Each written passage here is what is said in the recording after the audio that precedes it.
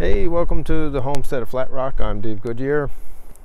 Today we're going to do a tour of the greenhouse. Uh, I've had a few requests. With COVID and everything on the go, it's a little hard to have people come by, but uh, there's no reason not to be able to film it, I guess. So let's walk on down to the greenhouse. So the green, greenhouse is a four season structure. Uh, we grow in it four seasons of the year the actual greenhouse itself really only sees about three seasons inside. It's never really ever winter, I would say. Here's a picture of the greenhouse. Here I'm standing in front of it. And the glazing angle and stuff's fairly, it was fairly simple to build. I set up a glazing angle of 45 degrees. That works out to be about maximum sunlight. Oh, I don't know, maybe kind of middle February, something like that which actually ends up being our coldest month here in Newfoundland on the Avalon. This is what it looks like inside. It's pretty full here now, and I'm transitioning to growing some summer things. Um, for example, this is a garlic bulbil project that I have on the go with two other guys, uh, propagating 15,000 garlic. So as I move down towards the end, this is where I'll start first. Um, so this is just a potting area. And, you know, it's functional. Um, you know, fairly big, expansive area, places to store things. Uh, even some place for garlic to creep in if you have it growing. Uh, you know, seedlings, seedling trays. Uh, lots of ample storage down below, down here. The other thing, of course, I was looking at doing was adding you know plumbing to this uh, this structure but it was quite hard given the distance from the house. So instead I had to install this big I guess water tank. Um, so I just fill that up manually when it uh, when it empties. And in the summer I probably go through one of these about once a week. It's about 200 liters. This time of the year not so much uh, over here behind me, uh, basically just a pump setup that feeds uh, drip lines. Those drip lines go through this half inch line here and they go around the front of the greenhouse basically at the bottom of the knee wall all the way along. I don't use it actually that much on the timer. I find that it's more awkward to use than just hand watering. But in the winter I do come in every now and then and turn it on for four or five minutes every four to five days. Plants in the in the winter don't tend to need a whole lot of water. They do this time of the year, but but not normally in the middle of winter. So one thing about the structure is that there's a lot of fans in here. And the reason why is really the key to the structure and being able to grow through the winter involves the use of a GAHT or a ground air, air heat exchange system which is really just a heat exchanger sitting underground. So it's a, it's a whole bunch of pipes. They run underground, and when it gets above a certain temperature in here, air enters this plenum above. Uh, there's one on either end, and the temperature up there now is probably somewhere around 25 Celsius. It goes down through this uh, centrifugal fan, and it's pumped underground, and it goes in through a plenum passes through the ground and then comes out in another plenum about here and through this fan. Uh, this time of the year it's ample for cooling.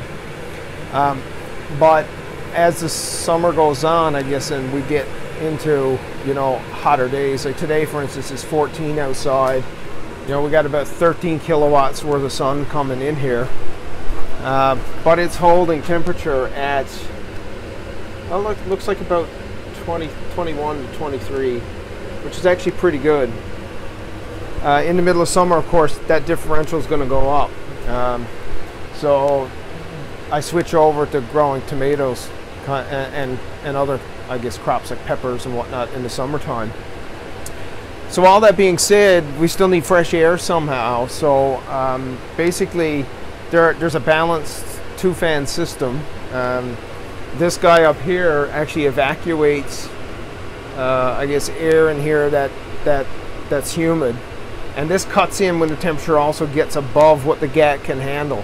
So if the GAHT can't keep it cool in here, this guy kicks in and says, you know what, I'm going to start pushing this warm air outside because we can't, we can't store it all.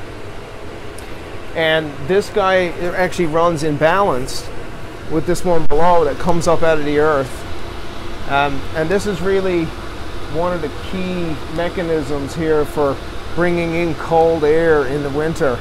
So normally in the winter, it's uh, it's you know we, we don't get days that are very much below minus five really, but it's still enough that it will cool down this greenhouse substantially.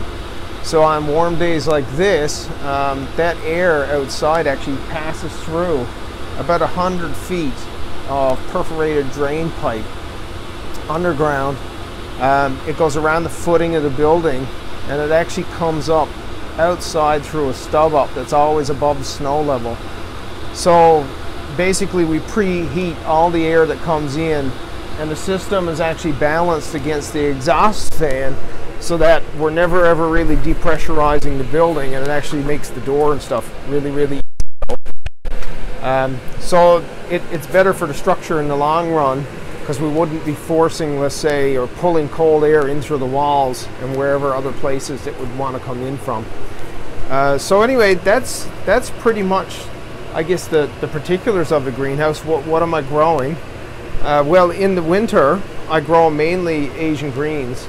I find that they tend to grow really, really well uh, compared to a lot of things in winter. And I mean, I'm not looking at keeping the space heated. I'm looking at keeping the space you know, from freezing. And really that's the purpose of the GAHT here in, in the winter, but I'm able to keep the structure above 5 Celsius. And what I've determined is that it's not actually temperature that actually is a problem here in the winter. It's actually the amount of light that we get. So our, I guess, daylight hours are somewhere, you know, it go, it goes, I think it dips below nine hours, which means the plants are pretty much dormant. And uh, really what that means is that you kind of need to plan out how big your plants are by the time Persephone comes, which is at the end of October, so that they're almost fully grown. And then you'd pick off them. So we did that in the first year and it worked quite well. But I realized that, you know, it's easy to get active growth if you're at 5 Celsius on a lot of these things. Um, and some of these things will even germinate down as low as 5. So the way around that, of course, is to add um, extra light. So I have this light, uh, which is from Migro, and um, it provides about, I think, 650 ppfd. Uh, from what I recall, it's enough to boost up the daily light integral on this so that the greens actively grow, and um, we're able to, to, to actually actively grow in here during that period when the daylight is decreasing down to December the 21st and then increasing back up to somewhere, you know, in February where we're getting enough daylight hours that in fact the plants are actually, uh, you know, they're actually actively growing. So what else have I grown in here? I've grown fig trees in here. I got this fig actually planted. It's starting to bud now. Um, and my plan for this is a small espalier to, to kind of boost production. I end up with a fig last year on this, which was pretty impressive. Uh, for Newfoundland, that is. Um, strawberry plants, these guys have been overwintered. Um, we've used to pick maybe, I don't know, maybe 10 or 20 strawberries a week. You know, they're day neutral varieties, so they'll, they'll produce all year as long as the temperature's up, but they really would benefit from a little bit of light. So I have four of these. Uh, some more guys planted. This stuff is all actively growing now. I mean, you can see the flowers we wouldn't see strawberries here until at least the end of June or middle of July. But by the looks of this, I'll probably have strawberries in here maybe, oh, I don't know, maybe another two, two weeks. And it's, uh, so, you know, sometime in April. So two, three months ahead of uh, what I'd expect. Uh, Haskaps, uh, these guys are actually meant for outdoors, but they were only plugs last year. So I decided to keep them in here uh, just to get them going. And this is what's basically grown, all of this here in the past several weeks. And they have some berries and stuff on them. What else do I grow? I grow uh, Salanova. Salanova is a great, great lettuce. It grows in here really, really nicely in the winter. Um, it does slow down a lot when uh, there's no light, I guess. But but now that we have lots of daylight hours, it's it's actually doing quite well. Fun Jen is another thing that I grow. It grows amazingly quick. It's an Asian leafy green.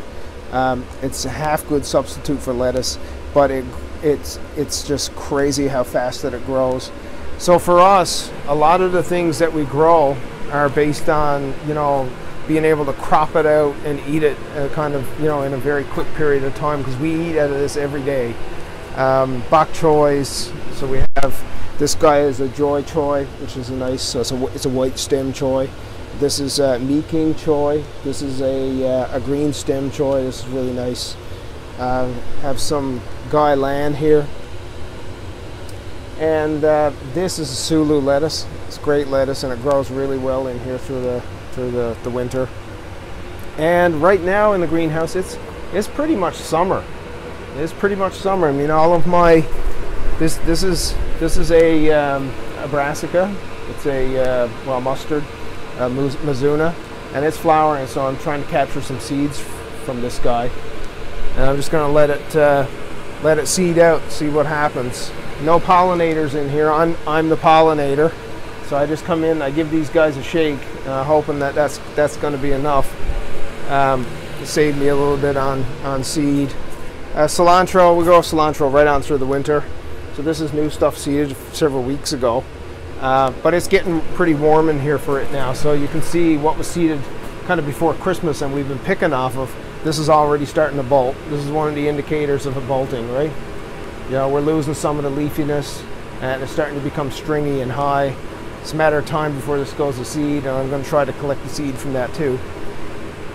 So, do we use anything other than the GAHT for heating? Well, I'll say no, but uh, there is an emergency heater installed, uh, which is a 240 volt, um, three 4,000 watt heater, and it's just hooked up to a small thermostat. You can see actually that the thermostat it's just an analog thermostat. It's actually turned off um, but you know, I haven't had this on the winter. Actually, I, I, turned it off and I just let the GAHT do all the work. Uh, for controlling lighting, it's a pretty simple system. We just use a Tork astronomical timer. It's a, uh, they're, I mean, they're a few hundred bucks, but you know, it's a, it's a nice timer. It has uh, circuitry built in for switching, and we can program those lights to just provide you know daylight extension so in essence it comes on an hour before we have I guess um, you know before sunset. And then it goes off at 8 p.m. so it gives us a photo period in the winter of somewhere around uh, 10 10 hours or so 10 to 12 hours I think altogether. Compounded with the fact of course that our uh, you know our, our winters are pretty cloudy. I think December's our cloudiest month. And you know we're talking about maybe seeing a few hours of sunlight um, although we have daylight it's very diffuse. Um, so having a little bit of light to actually boost some of those plants temperatures at five degrees you know they actively grow fine. Anyway that's pretty much a tour of my greenhouse. Uh, I think I got everything. Uh, like I said I was hoping that I'd be able to get in-person tours done this summer but I don't think it's going to happen with, uh, with COVID on the go. But in any case, uh, here you go. That's a tour.